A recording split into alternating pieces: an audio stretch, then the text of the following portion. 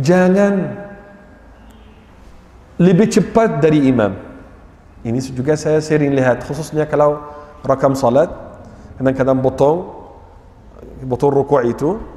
Lihat kalau saya baca Allahu Akbar rukuk ada yang sudah rukuk sebelum saya.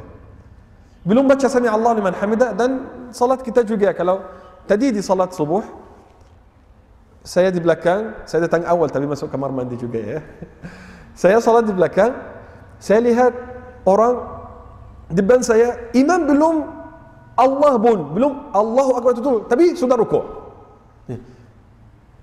Hampir Allah ini sudah rukuk. Kenapa? Sebelum imam. Kenapa cepat lebih dari imam? Nabi sallallahu alaihi wasallam bersabda oh tidak ada salawat ke atas Nabi lupa ya. Lupa salawat ke atas Nabi sallallahu alaihi wasallam. Atau capek karena tahajud atau sudah بوسان تدا بس بوسان صلوات كاتس النبي صلى الله عليه وسلم. كتايا دبت منفعة دري صلوات كاتس النبي صلى الله عليه وسلم. بكن النبي بكن الله كتايا دبت منفعة كلو كتا صلوات كاتس النبي صلى الله عليه وسلم.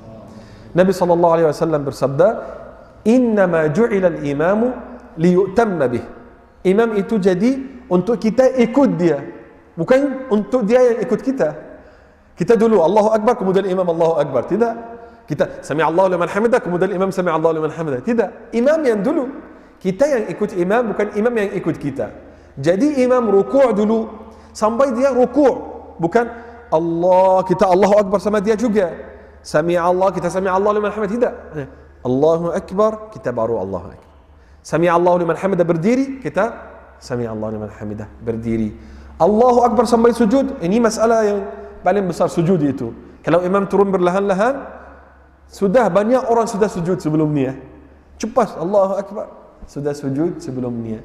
Ini juga buat salat kurang pahalanya. Kalau dia lebih dari imam dua rukun atau tiga rukun, salat sudah batal. Salat itu ah, maksudnya jemaah itu tidak hitung.